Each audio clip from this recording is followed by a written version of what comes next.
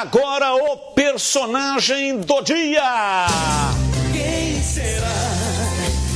Gabigol, atacante do Flamengo, marcou dois gols na vitória sobre o Atlético Mineiro por 3 a 1 no jogo de ida da final da Copa do Brasil.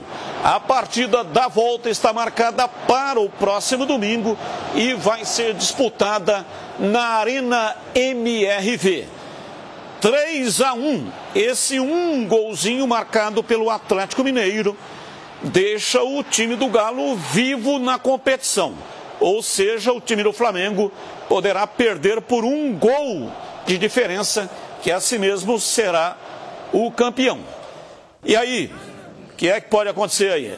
Pode acontecer de tudo, eu concordo com você. Esse gol recolocou o Galo na disputa. Tem nada definido, mas a vantagem é significativa para o Flamengo. Eu, eu, lembro daquela Copa do Brasil em que o Nelson Batista era treinador do esporte, estava 3 a 0 para o Corinthians.